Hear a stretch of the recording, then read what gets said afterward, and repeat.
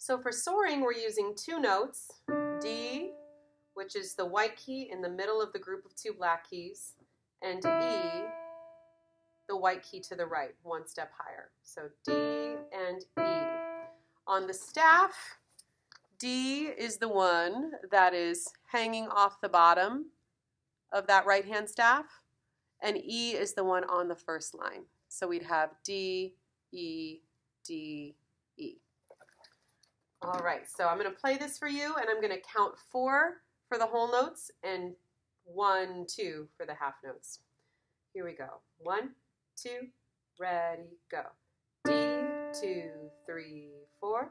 E, two, three, four. D, two, three, four. E, two, three, four. D, two, D, two, E, two, two, three, four. E, two, three, four. D, two, three, four. E, two, three, four. D, two, three, four. E, two, three, four.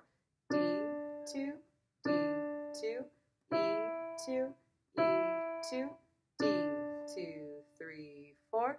D, two,